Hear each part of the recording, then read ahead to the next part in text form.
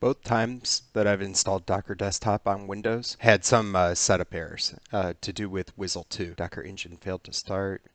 Let's enable Hyper-V. It's under Windows Features. We already have Windows Subsystem for Linux, WSL. Maybe if we do this and then restart.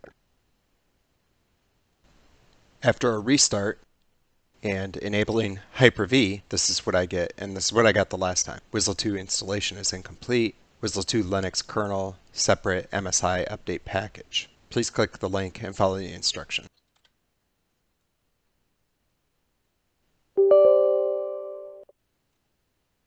Okay, step five, set WSL 2 as your default version, probably as administrator.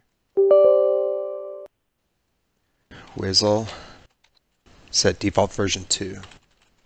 Install your Linux distribution of choice, the Microsoft Store, and get Ubuntu Store, Ubuntu.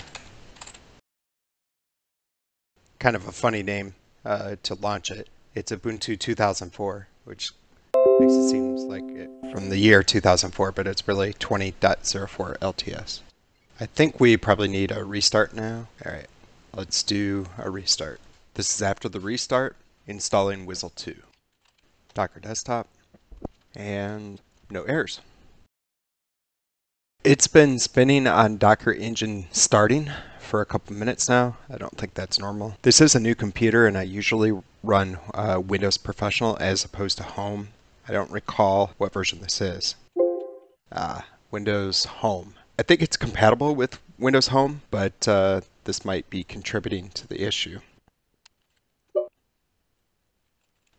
WSL Update.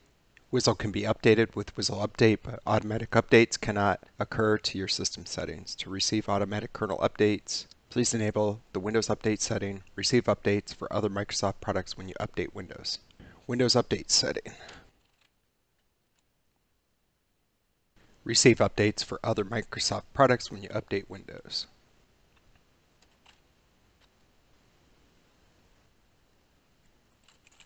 WSL shutdown. Hmm.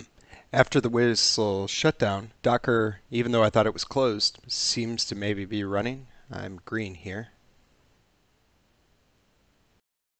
So it looks like we are in a Linux container by default because this would switch to Windows containers.